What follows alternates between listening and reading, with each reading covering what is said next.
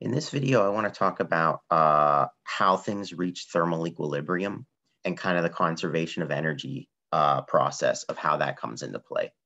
So um, first of all, what is thermal equilibrium? Um, if you mix, let me write this down. If you mix materials with different temperature so that they can exchange heat,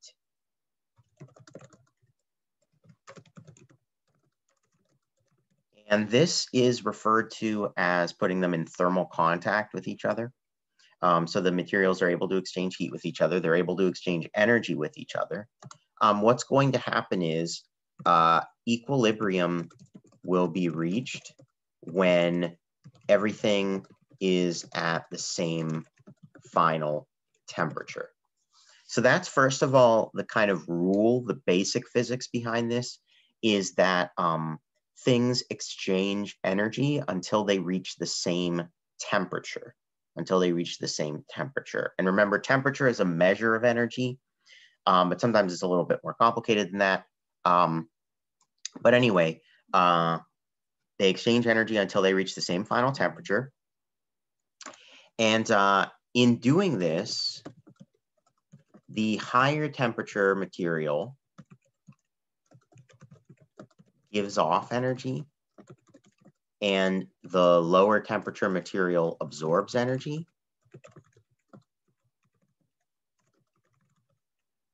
And conservation of energy dictates that um, the total amount of energy exchanged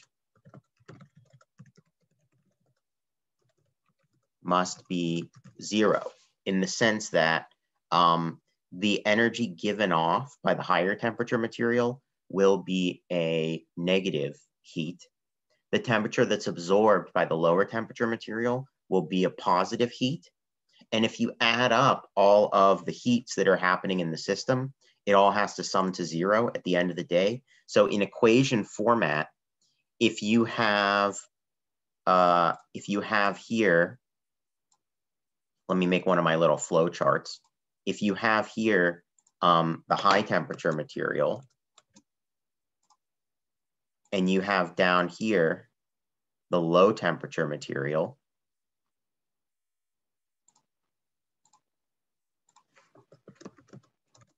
what's going to happen is the high temperature material,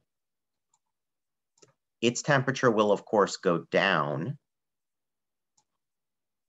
Okay, until it reaches the, the final temperature. And um, the lower temperature material, the temperature will go up until it reaches the final temperature.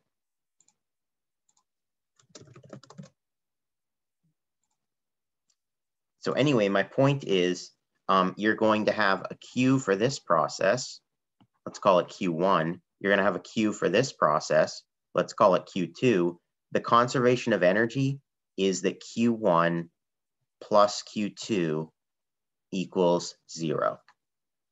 Because again, what that's saying is Q1 is going to be negative, Q2 is going to be positive, and they have to be equal in magnitude because um, that's what conservation of energy is, that the amount of energy that the hot one gives off has to be equal to the amount of energy that the low temperature one absorbs.